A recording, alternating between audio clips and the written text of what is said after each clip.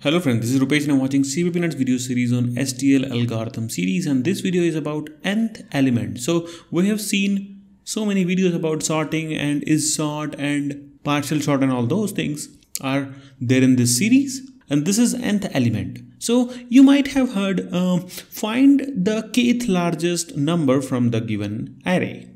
For that matter, let's suppose this is the input array and I want the first largest number or uh, first uh, smallest number meaning I want the smallest number among all these numbers. What if I'm saying I want smallest, I mean second smallest number that is going to be 3, correct?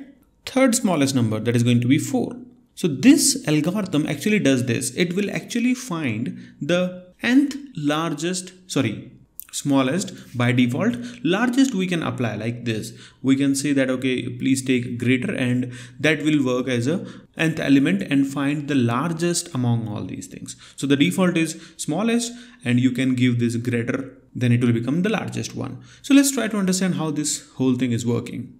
And there is little different than only finding that number because it actually changes your array. So how it changes that we'll talk about that so nth element is a partial sorting algorithm that rearranges elements in first and last range. So this is the range you have first and last. So if you see here, this is your nth element. We are giving the first here and the last here. So it needs range, right? I mean, if you have this vector, maybe you want to perform the operation between this and maybe this only or maybe from here to till end. I mean uh, that that depends upon your requirement right? So you will give the range here. This square bracket meaning you are actually including first and this round bracket meaning you are not including last one. So including first excluding last.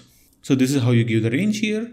So it is saying that nth element is a partial sorting algorithm that rearranges elements in this range such that the element at the nth position is the one which should be at that position if we sort the list. Meaning you're saying that give me the sorted element only single one and you are asking for the position that I want. Let's suppose this particular position. It's like you are asking for this position what would be the number if I would sort all the elements? Without sorting so the second point is it does not sort the list just that all the elements which precede the nth elements are not greater than it and all the elements after it are not less than it. Meaning, let's suppose I'm looking for this particular position. So this is 0, 1, 2 and 3. So if I'm looking for third position, let's write 0, 1, 2, 3 and let's start sorting them. So 2 will come first, then 3, then 3 and then 4 okay so this is your index and this is your value. So this is how a sorting would look like correct? But if you are applying this nth element it will give you the sorted element for that particular position. Meaning if you're asking for this third position it will give you this 4 here for sure Hey guys, time for a quick pause and what you're seeing right now is my Patreon page. So if you don't know what is Patreon, it's a crowdfunding website where you can support any content creator like me and in return you get rewards. So if you join me, I can be your private tutor, or you just want to chat with me and ask your doubts, or maybe you just want to support me with very small amount and I'll still have something for you. So do visit my Patreon page and see if you like it. And if you want to discontinue anytime, you can do that. So if you have already visited my Patreon page, let's continue our video now. So this is the only sure thing. Now, as it will change your whole array, the guaranteed portion is left of this 4 whatever the values will be will be less than this 4 and right hand side whatever those values will be will be greater than 5 sorry 4 and the another point is nth element algorithm is implemented using intro sort this is a combination. One is quick select. This is one algorithm and median of medians algorithm. There are two algorithms combined together to actually find this nth element so when I was explaining you STD sort, that time I told that there is this algorithm called intro sort, but here it is intro search, sorry, select. So now you know what is the algorithm working inside this function nth element. So let's read a little bit about this.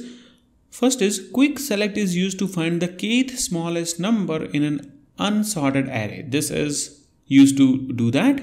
Median of median is a median selection algorithm for better pivot selection mainly used in select I mean quick select. So this is mainly used in quick select only to actually find better pivot selection. So if you don't know how this algorithm works, don't worry, that's not the part here. I have noted down this and I'll give video on this in future. So let's see how this one is working. So as I said, we have first and the last. So this is the place for first and comma and this is where you will give your n and here is the last one.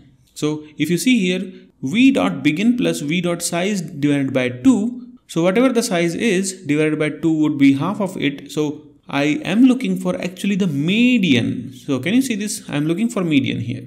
So the size of this one would be 1, 2, 3, 4, 5, 6, 7, 8, 9. So 9 divided by 2 will be 4. So 0, 1, 2, 3, 4. We are looking for fourth position which is this 5. Meaning we should get 5 when I will execute this. So this one should give 5 and then I have taken another example here. See, it's the same thing. Start and then the nth position and then the last position but comma I am saying that greater here meaning this time I do not want smallest I want largest meaning second largest. Here I am giving second position right? 0 is the first position and this plus 1 will become second position. So second largest number. So this time it should give second largest which is uh, 7 here I guess. Yes 7 so we should get 7 here. Let's execute this and sum this video. Let's execute this. See yeah got it. See the median is 5 and the second largest element is 7 here.